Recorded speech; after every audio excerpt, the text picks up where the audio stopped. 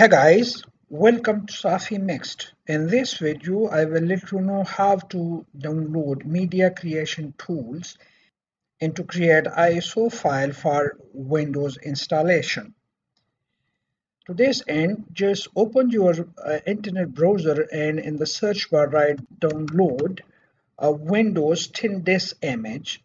Click on this option and in the list of searches click on the topmost option, open this in a new window, and you will be taken to uh, this uh, Microsoft uh, site, software download Windows 10. And here on this site, two options are available. One Windows 10 updates, we are not interested in that. And the second one, create Windows 10 installation media. This is our targets are fair so you just need to click on the download button to download this software. So I click download and uh, save the file somewhere in the directory board. It will be saved with media creation tools underscore 22h2 and this is an executable file now if I go back to the folder where I saved it it is present here and this is executable file so I double click the file to open this uh, to run this. So this window appears. It provides information about the publisher and the name of the file. I just go to click on the run button so uh, this window then comes in getting a few things ready. Okay then applicable notices and license. This window comes in and uh, then I click on the accept button.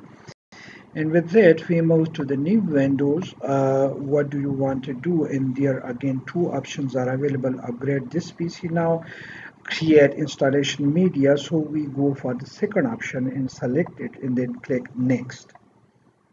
And then we come to this window where again select language architecture and editions there are three different options available but it's better to click on use the recommendation option for this PC so I go for this one.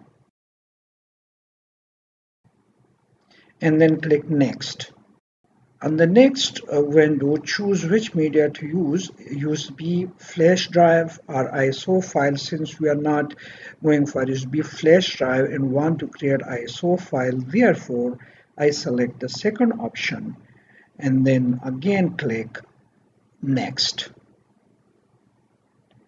Now it is asking me to save the ISO file so I would like to save the ISO file somewhere on the uh, on my hard disk or on my computer and I give the path and uh, uh, I do that. I select Windows Update folder and then click save.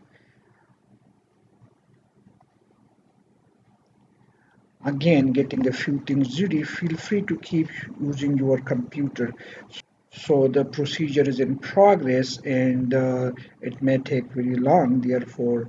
Okay i again stop recording here and will come back once this step is also completed. Now the iso file has been generated.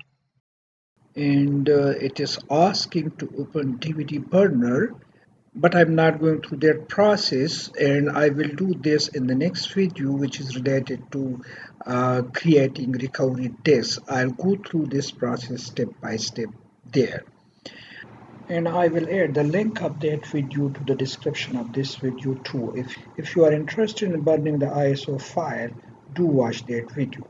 For now, thank you very much and uh, please don't forget to subscribe to Safi Mix and hit the like button on the video.